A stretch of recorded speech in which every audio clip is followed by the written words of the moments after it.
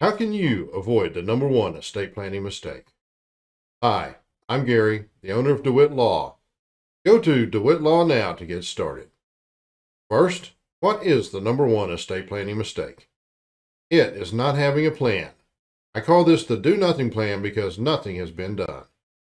With the do nothing plan, you leave your fate up to state law. And here is what you and your family can expect. State law dictates probate. Your family faces eight months to a year of expense, stress, and hassles to get it done.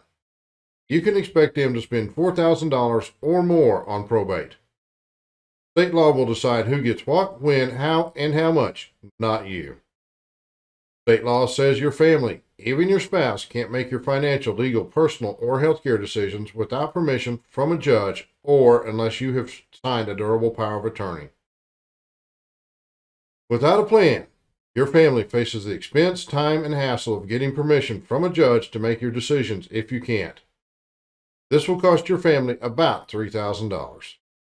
So if you do nothing, then your family can expect to pay at least $7,000 for you and $7,000 for your spouse to make sure everything's taken care of.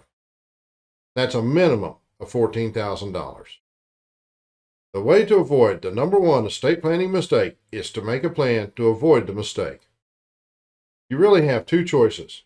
You can plan or don't plan. Without a plan, you're going to lose control to the state law and a judge.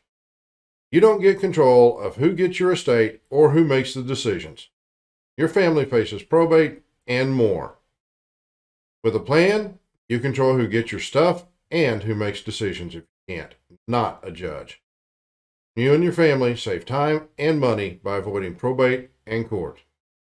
Go to DeWitt Law now to get started.